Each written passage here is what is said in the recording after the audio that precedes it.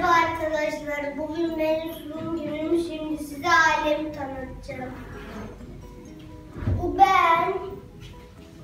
Zeynep. 3 yaşında. Hatta benim.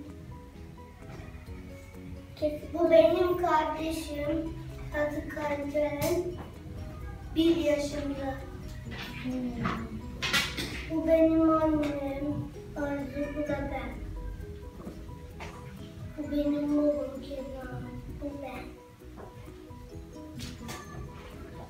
Bu dedemle babaannem.